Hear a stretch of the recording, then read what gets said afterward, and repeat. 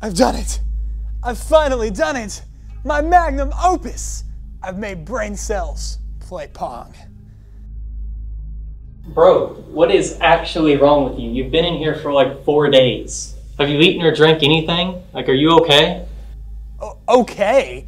I'm more than okay. This research could advance the, our understanding of the human brain in its entirety. Come, come, take a look at this.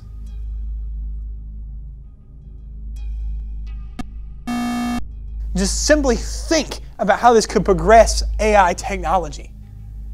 The possibilities, they're endless. You need to be imprisoned. You're insane.